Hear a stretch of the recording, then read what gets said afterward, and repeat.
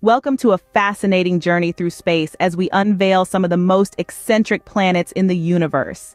Imagine a world covered in oceans of lava, where rivers of molten rock twist and turn through vast valleys. This is the fiery planet known as Kepler-10b, located 560 light-years away from Earth. Now, let's take a leap to a planet where it rains glass sideways.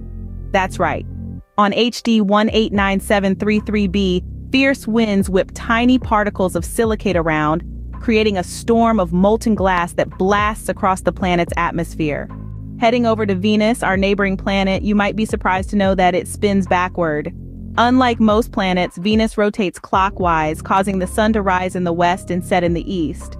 And let's not forget about the mesmerizing exoplanet HD 209458b, its atmosphere is so incredibly hot that it evaporates metals like iron and titanium, turning the planet into a celestial object made of gas and vapor.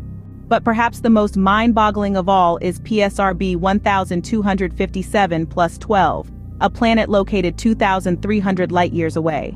It's not your average planet because it's the remains of a dead star known as a pulsar. Imagine a world where radiation and cosmic rays reign supreme, these bizarre worlds open our minds to the endless possibilities that exist beyond the reaches of Earth. Thank you for joining us on this extraordinary journey through the strange planets of the universe. Make sure to subscribe to our channel for more mind-blowing discoveries.